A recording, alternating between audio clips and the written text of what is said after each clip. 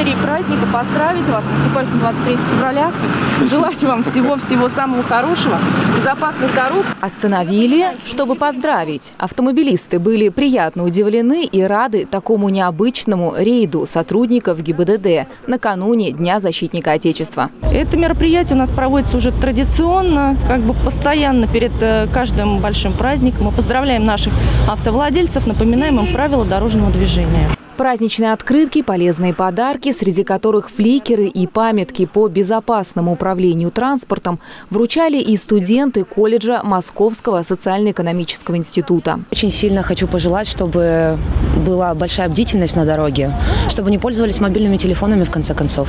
Наверное, это самые такие яркие пожелания им будут и справедливые. Студентка второго курса Кира Алексеева была очень рада поучаствовать в такой необычной акции. Девушка считает, что подобные мероприятия создают не только праздничное настроение, но и позволяют еще раз напомнить водителям о правилах безопасного поведения на дороге. Хочу поздравить мужчин-автолюбителей с приближающимися праздниками Днем Защитника Отечества, а, чтобы у них было хорошее настроение.